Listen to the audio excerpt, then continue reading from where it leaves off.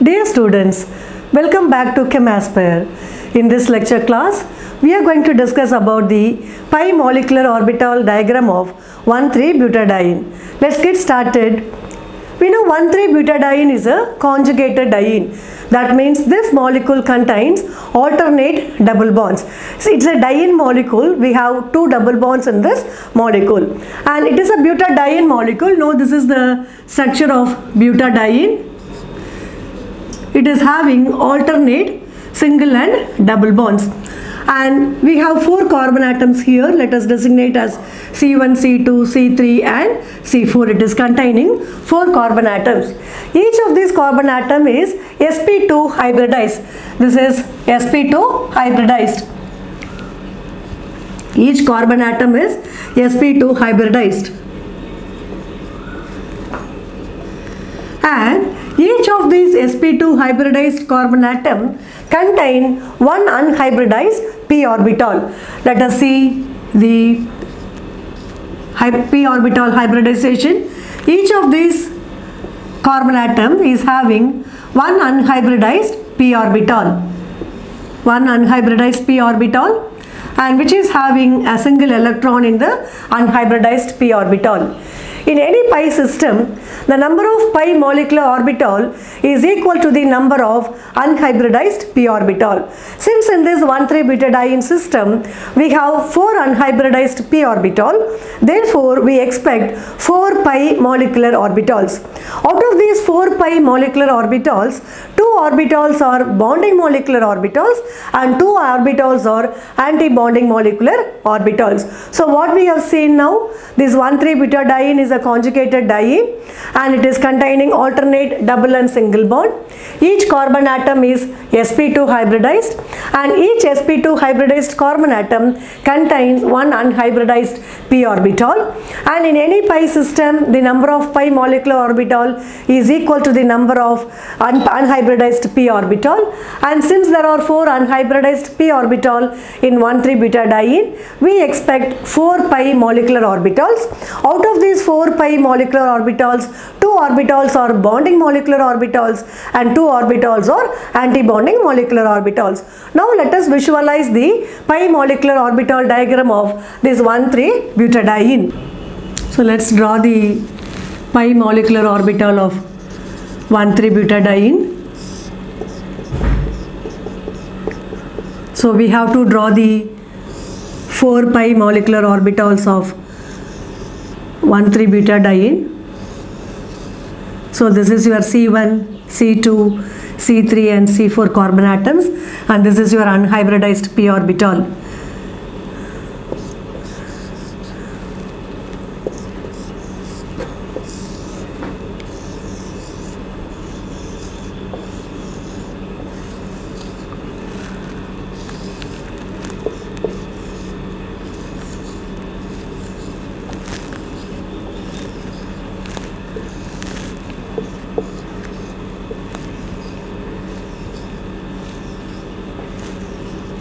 So let us designate these uh, molecular orbitals as pi 1, pi 2, pi star 3 and pi star 4.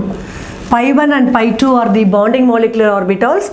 Pi star 3 and pi star 4 are the anti-bonding molecular orbitals.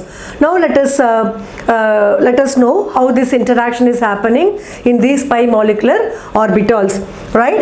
So we have here in this pi 1 uh, molecular orbital, there is no node. What is meant by node? Node is the place where there is unavailability of electrons. There will not be any availability of electrons in the node. Suppose consider in this pi 1 molecular orbital, number of node is equal to, number of node is equal to 0. That means there is no node in this pi 1 molecular orbital. So how many interactions, bonding interactions can happen in the molecule? Say the bonding interactions may happen between C1 and C2, C2 and C3 and C4, C3 and C4. Three bonding interactions may happen between C1 and C2 and C2 and C3 and C3 and C4. Of the, these bonding interactions are happening between the lobes of the same sign. So bonding interaction number of number of bonding interaction is equal to 3 this bonding interaction is between c1 and c2 c2 and c3 c3 and c4 and you can see that there is no anti-bonding interaction interaction between the lobes of opposite sign. So number of number of anti-bonding interaction is equal to 0 so pi 1 is called as the lowest occupied molecular orbital. Pi 1 is the bonding molecular orbital. Number of node in this case is equal to 0. Number of bonding interaction is equal to 3 and number of anti-bonding interaction is equal to 0. Now coming to pi 2, here the number of node is equal to number of node is equal to 1. We are considering that there is a node that is existing between the orbitals, right? So how the interaction may happen? So there will be two interactions and it can happen between C2 uh, and C3 and C4. There are number of number of bonding interaction is equal to 2. It is happening between C1 and C2 of the lobes of the same sign and C3 and C4 and the number of number of anti-bonding interaction is equal to 1. So you can see that the interaction happening between the lobes of the opposite sign. So anti-bonding interaction is equal to 1 in the pi 2, pi 2 molecular orbital. Coming to pi star 3 molecular orbital, number of node is equal to number of node is equal to 2. We are considering two nodes in this orbital. Suppose say these are the nodes that are available in this pi star 3 how the bonding interaction can happen between two these adjacent orbitals which are having the same uh, sign. So here the bonding interaction can happen between c2 and c3 and therefore the number of bonding interaction is equal to number of bonding interaction is equal to 1 and the number of anti-bonding interaction is equal to 2 what are the two anti-bonding interactions can happen anti-bonding interactions can be like this. Right? There are two anti-bonding interactions. So in this pi star 3 molecular orbital number of node is equal to 2 number of bonding interaction is equal to 1 and number of anti-bonding interaction is equal to 2 coming to pi star 4 number of node is equal to number of node is equal to 3 right? So we can have the nodes like this. Right if the nodes are like this then the lobes will be of having signs like this.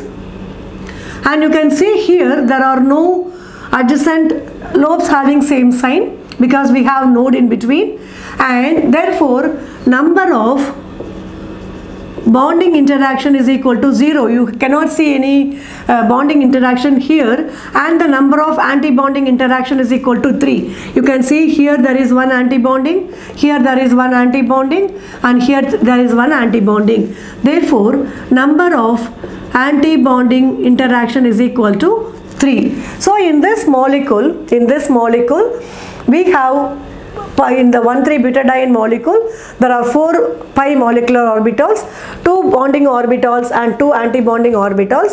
Bonding orbitals are designated as pi 1 and pi 2 anti-bonding orbitals are designated as pi star 3 and pi star 4 here here in this case number of node is equal to 0 number of bonding interaction is equal to 1 2 and 3 number of anti-bonding interaction is equal to 0 here we have one bonding interaction we have two bonding interaction and one anti-bonding interaction. Number of node is equal to 1 in the case of pi star 3 we have number of node is equal to 2 number of bonding interaction is equal to 1 number of anti-bonding interaction is equal to 2 in this uh, orbital pi star 4 we have number of node is equal to 3 we have num uh, three anti-bonding uh, interactions and there are no bonding interactions in this molecule